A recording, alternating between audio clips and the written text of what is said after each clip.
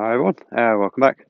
Uh, so today I'm going to be trying to put up some sort of brassica cage um, to protect my brassicas from the cabbage white butterfly.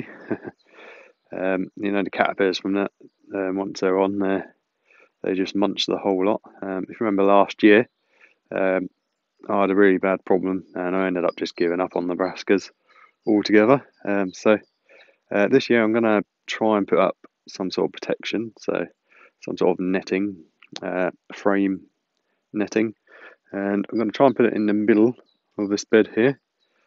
Um, that's the only area I can really see where I can get it. Uh, so um, I'll get back to you in a sec, guys, and I'll show you what I'm up to. Okay, so this is where I decided to put it. Uh, you can see the uh, bamboo that I've put in there. Uh, so I'll just go grab a, a panel um, that I've made.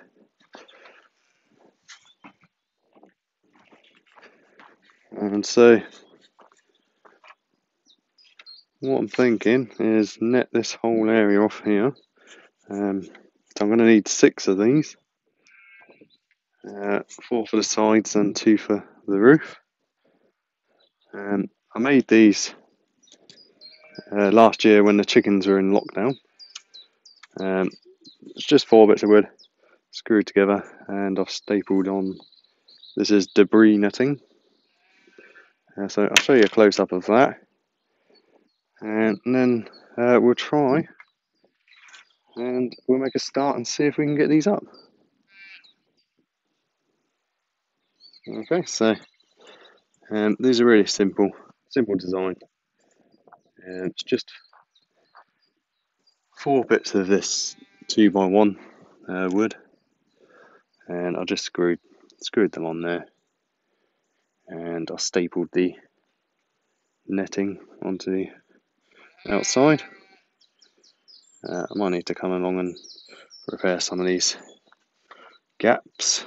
Uh, just put some more staples in because uh, this was just designed to keep the chickens in when they were uh, in their lockdown because of this avian flu. Uh, but that's over now, so I've dismantled the um, run and I'm going to use some of the panels to make a brassica caged area here. So I'm going to do this whole area square and then I can plant my brassicas in there and whatever else I decide to put in there and then the potatoes and that can go down there and probably some of them up this end as well. Uh, so anyway, I'll get the camera sorted out and we make start putting this together.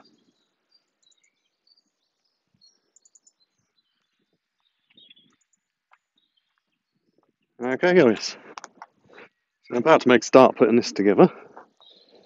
Um, it's going to be quite difficult to do this.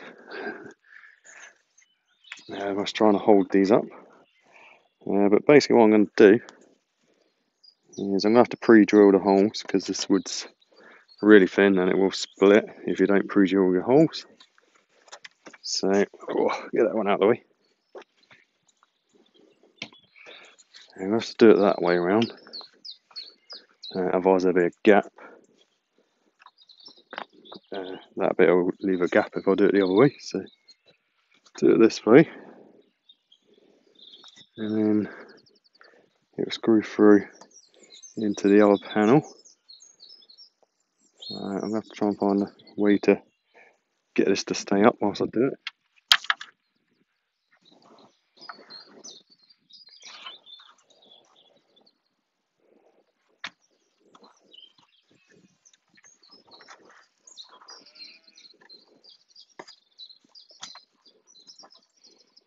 Anyway, so that's the idea is to drill through there and screw through these two. If I'm lucky, that'll stay there. So I'm just using these 50 millimeter screws. Uh, that's what I've got at the moment. Uh, so I'm going to pre-drill the hole through here and secure the corner. I won't go through that knot. I'll go above it.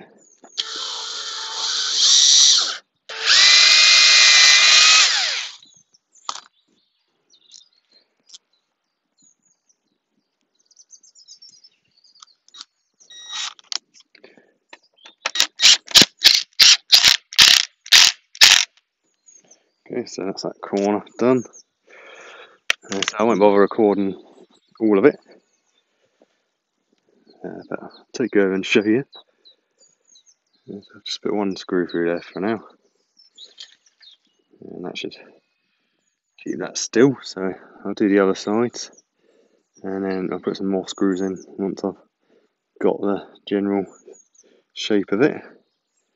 Uh, so I'll probably put the time lapse on uh, rather than bore you with the whole thing because it's going to be the same on each corner. I'm just going to do probably three screws, one in the middle, one in the bottom, one on the top, all the way around, and then I'll come back to you before I start the roof.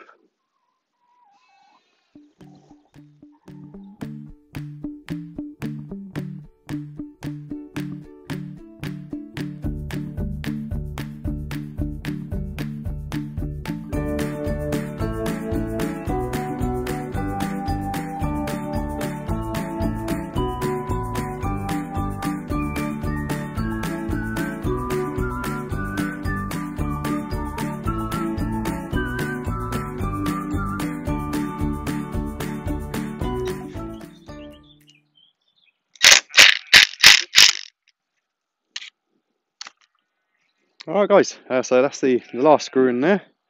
Uh, so we've got the basic outside of the frame done. Uh, so I've got to go get a couple more panels.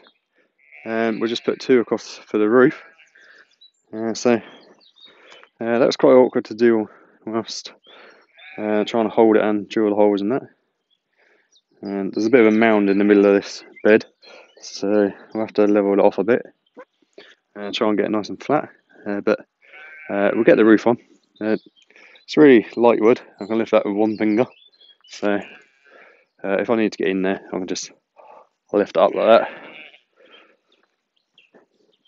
And then put it back down again.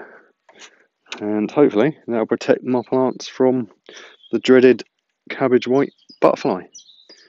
Because um, they come in, they lay all their eggs, and then you get hundreds and hundreds of caterpillars.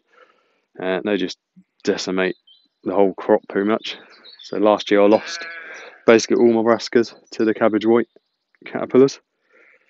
Uh, but anyway, um, I'll go get some more panels and we'll make a start on the roof.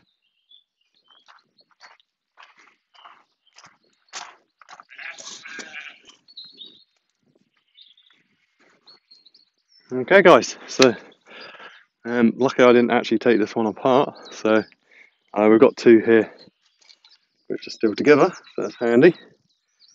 So, got the netting on the inside, and hopefully it should fit perfectly on here.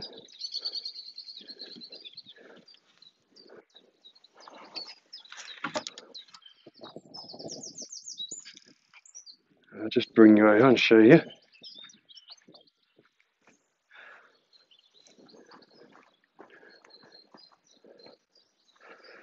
Uh, these two were left together uh, from when it was a chicken run.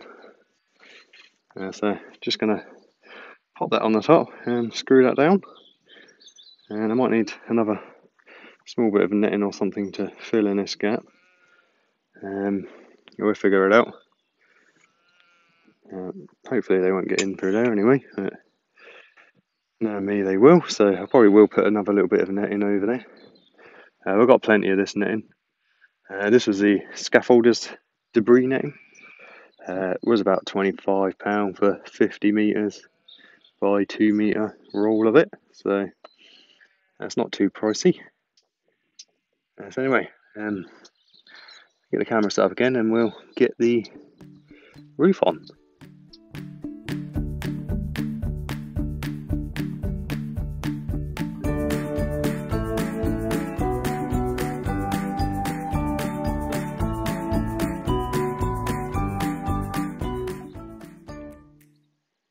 Okay, so I've made a start putting a roof on, but as you can see we have a problem there.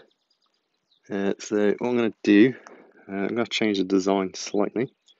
Uh, so I'm going to take these battens off of here and here and to close up this gap as well if I move everything along I can put them down in between uh, so I'll show you what I'm talking about on the other side. I've already made a start doing it. So take this one off. And rather than it being on top like that uh, we'll put it on the inside. And I've had to take the net off so we'll have to staple that back onto there. Uh, we'll figure it out. Uh, so it's not not too much of a, an adaptation but so the gaps like that were fine for the chickens but obviously if I leave a gap like that butterflies will probably still get in so it'd be kind of pointless so I might as well make it sealed uh, so I'll get that done guys and I'll get back to you when I'm done okay guys uh, so uh, here's the finished product so we had to, I had to mess around, um, adapt the roof panels. Uh, only ever so slightly, I just took them off. Uh, luckily this net's quite stretchy, so just had to cut a bit off and move them out a little bit so there wasn't any gaps. Um, uh, so that's that done. Um, as I said, uh, it's really lightweight and I can get in there, lift that up, I can lift that up with one finger so it's just two by one wood. And I've just nailed the debris netting, uh, stapled it on. And hopefully that'll protect my brassicas from the dreaded cabbage white. So anyway guys, um, I hope you enjoyed today's episode. And I hope you found it useful. Uh, so um, thanks so much for watching. Uh, if you uh, could subscribe, that'd be great. And give the thumbs up and feel free to leave a comment. And I'll see you on the next episode, guys. I'll be planting out more potatoes and putting some brassicas into the brassica cage. So, thanks so much for watching. See you next time.